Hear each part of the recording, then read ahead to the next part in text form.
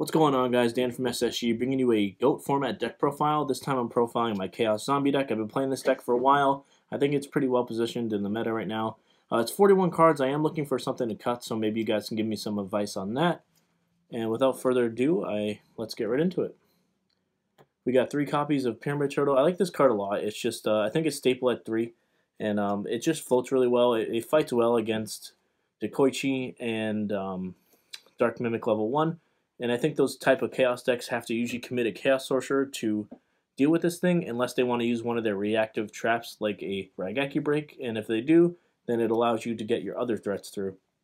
One of the threats you're always trying to get through is two copies of Spirit Reaper. At heart, this is a Spirit Reaper deck, as you're really just trying to grind out your opponent one for one and then take over the game with something like a Spirit Reaper. If you can get this out early and be attacking with it directly often, then you're going to tax your opponent's resources. Then for the big zombies, we have one copy of Vampire Lord, one copy of Ryu Kokki. I see a lot of people not playing Ryu Kokki or opting for a second Vampire Lord. I do agree that at least 80% of the time when you're going into a big zombie off your Pyramid Turtle, you are going to grab Vampire Lord. But I do like the option of Ryu Kokki to deal with cards like Chaos Sorcerer and other big monsters, and I think it's uh, very important. Next we got BLS and Chaos Sorcerer. I like the Chaos Zombie deck a lot. I think this adds a little bit more utility to the deck and a little bit more power, which the deck does need. Um, but you can only facilitate two Chaos monsters because the Pyramid Turtles do take up some slots away from the Light and Dark monsters. Um, so I think this is the right number, but I do like these cards a lot in this deck. Then we have for Darks, one copy of Sangan. Just get your engine going. A nice floater. We got Breaker and Kycoo. I like Breaker a lot. It's just like a standard card, um, pretty staple in my opinion. And Kycoo is actually going up on my radar a little bit. I think that it's starting to become a staple as well um, because it's just really good against the Chaos decks. There's so many Chaos Sorcerers running around in GOAT format right now.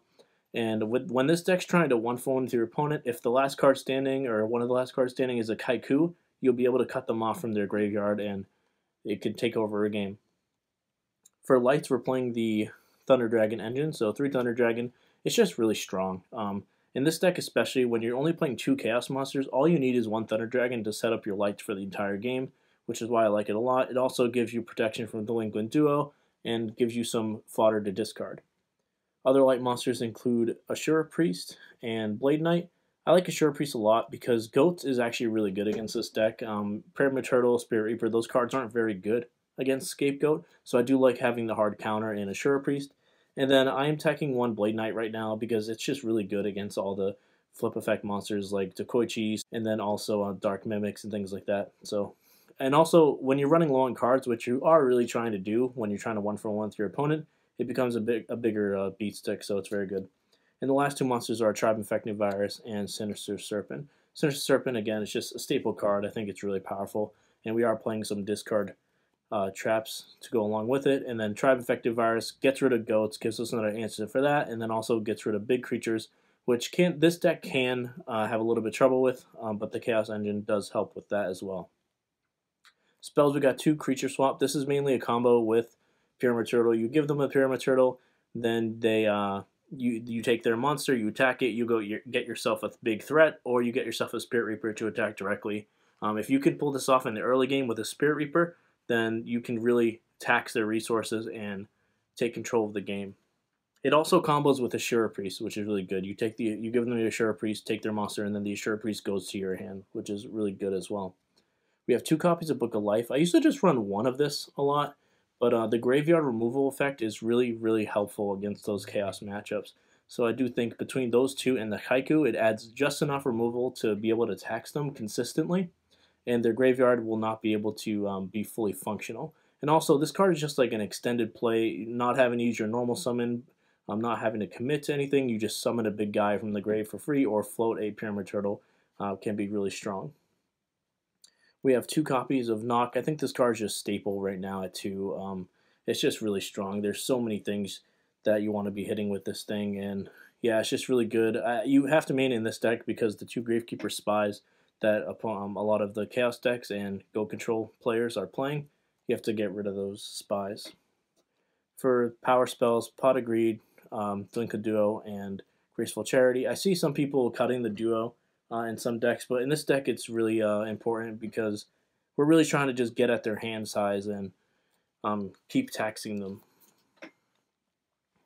We got Heavy Storm and Mystical Space Typhoon, just good removal. Then we have Premature Burial and Snatch Steal. Staple cards. I like Snatch Steal a lot in this deck because you can tribute over for your big zombies if they're stuck in your hand. Um, and also you can just take their monster and then normal summon a Spirit Reaper, which is also very good. Then we are playing for traps. We're playing the full three copies of Trap Dustshoot. I like this card a lot in this deck. Um, you're really just trying to one for one with your opponent, and this is one of the most powerful one for one cards in the format. As whenever you get to choose the terms in which you're one for oneing with your opponent, that's what you really want to be doing with a card that's a one for one. And a lot of times they play really slow against you as you're just floating with the Pyramid Turtle. They're going to have a lot of cards in their hand. Uh, in mid game, a lot of the Chaos decks just hold on to their cards that they can try to kill you, and you can just pick off a, a BLS or a Chaos Sorcerer before they summon it. So I think that card's really good. We have two Raigeki Break. This card's really strong. We have the discard fodder with uh, Sinister and two Thunder, uh, the three Thunder Dragons. So I do like this card. Um, it's just a universal and versatile answer and very reactive. Two less reactive cards, um, only responding to attacks, is Mirror Force and Sakuretsu Armor. I'm not a huge fan of these cards because I think they're just really not that great against cards like Dekoichi and um, Magician of Faith. But in this deck, I think they're important because you can just clear the way for your Reapers to get in and get at your opponent's hand. So I think they're very good cards in this deck specifically. Uh, rounding out the traps, we have one copy of Ring of Destruction, very active card, very powerful. And then, of course, we have Torrential Tribute to float with our Sangan and really just clear the way, get our Reapers in. Very powerful card. So that's the deck, guys. Uh, let me know what you guys think in the comments below. Let me know what you would cut from this deck. Um, I do like this deck a lot, um, and it's a lot of fun. I've been enjoying GOAT format, so I'm probably going to bring you some more of those profiles, different decks. So um, that's about it, guys. This is Dan V from SSG signing out.